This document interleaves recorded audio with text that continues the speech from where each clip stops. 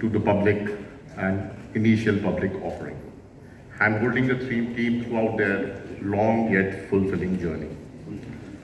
I'd like to introduce Mr. Subramanian Krishnamurthy, who is the Executive Vice Chairman, Mr. Paramasivan Srinivasan, who is the Managing Director, Mr. Ramesh Jha, the Chief Financial Officer, and Mr. Hitesh Kumar Singh, who is the Head of Investor Relations.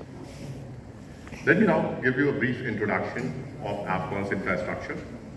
It's the flagship infrastructure engineering and construction company of the Shapoorji Pallonji Group and has over six decades of experience in complex infrastructure projects. The group is one of the leading conglomerates in India, operating for over 150 years in the construction industry. Afcons, during the last 11 years and three months till June, has successfully completed 79 projects across 17 countries with a total value of rupees 56,305 crores. Afcons have a strong track record of executing numerous complex, challenging and unique EPC projects within India and globally. Just to give you examples of few of the largest ones in, in the India and abroad, they have completed the tallest single arch railway bridge in the world, the Chenab Bridge, and the largest railway project in Ghana. Afcon has been awarded a project worth rupees 5,422 crores in Mumbai bullet train corridor. In this project, they will be constructing India's first undersea rail tunnel of 7 kilometers out of the entire scope of 21 kilometers. These unique and large projects executions awarding testaments of Afcon's expertise and able leadership led by Mr. Shapoorji Pallonji Mistry. I'd like to talk some of the strengths of the company. To reiterate, Afcons is having a healthy order book of rupees 31,747 crore as on June 30, 2024, of which government's counterparty is roughly around 65.98%, multilateral 22.4%, and 11.62% of order is from the private sector. The other 24.39% of these orders are from the overseas projects. Subsequent to June 30, 2024, AFCON has won projects worth rupees 5,936 crores and declared as L1 bidder in projects worth rupees 10,732 crores until September 30th of 2024. Afcons have indigenous strategic equipment base of around US dollar 490 million as of June 30, 2024. Its equipment base includes 11 marine barges, 153 cranes, 16 tunnel boring machines, 8 large capacity jackups, and 21 piling rigs. Afcon is the only Indian infrastructure company to win the MIKE award six times in a row. MIKE stands for Most Innovative Knowledge Enterprise. Among large infrastructure construction companies in India analyzed by a Fitch report, I would like to mention that Afcons had the highest ROCE and EBITDA margins, and Afcon's PAT has grown at the fastest rate between the financial years 2022 and 24. I would like to bring your attention to the IPO now.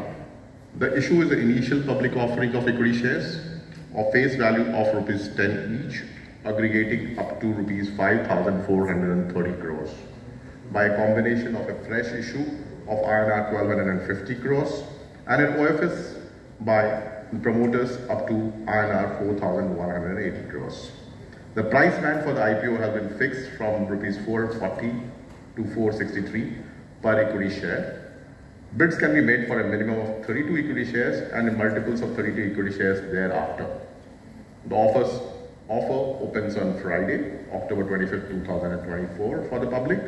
Then anchor investor bidding date shall be one working day prior to the bid offer of opening date. That's a Thursday, October 24, 2024. The offer will close on Tuesday, October 9, 2024. I would like to now uh, have a of the, the total size of the IPO is 5,430 crores. Out of that, 1,250 is the fresh and the remaining part, 4180 crores, is the OFS. if we'll talk about AFCONS, AFCONS is part of Shapoorji Pallonji Group. We are a 65 year old company and uh, we are into all the segments of infrastructure, be it marine, hydro, rail and roads, metro, oil and gas. Uh, we are also, uh, we are all, and, and also if you see around 30% of our revenue on a consistent basis comes from the overseas market. In the last 11 uh, years, the company has delivered 79 projects across 17 geographies. And the total value of projects is around 56,000 crores of projects have been delivered in that time. It's a very mature and professionally managed company. We have a lot of processes in place like risk management process, knowledge management process. I mean, we put a lot of emphasis on the kind of projects which we pick that I'll cover in detail.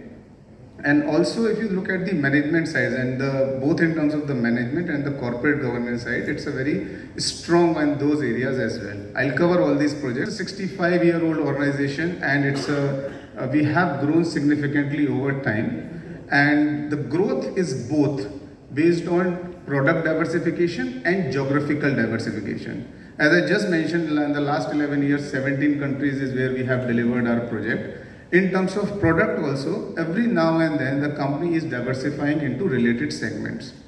We are a pure play diversified EPC infrastructure company.